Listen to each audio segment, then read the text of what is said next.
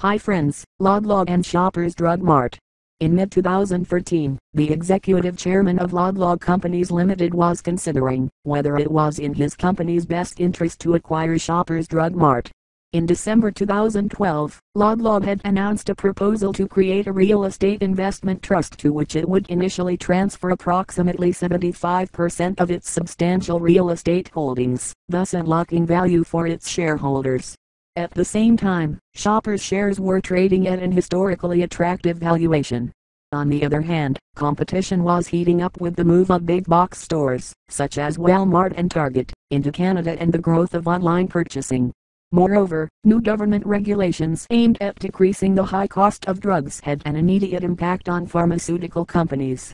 With Loblaw's shares trading near a six-year high, there was now the attractive opportunity to use them as currency to make an acquisition whose potential synergies were estimated to be in excess of $300 million per year. Was this a good time to act on what had been perceived for a number of years as an attractive merger option? Did it make strategic sense? If so, what price should Loblaw pay for shoppers? TheCaseSolutions.com is the number one destination for getting the case study and analyzed. Thanks for watching this video.